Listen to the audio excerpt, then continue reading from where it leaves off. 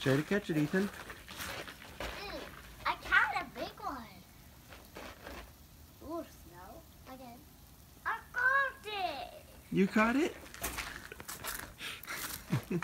wow. Snow in Florida. It's finally.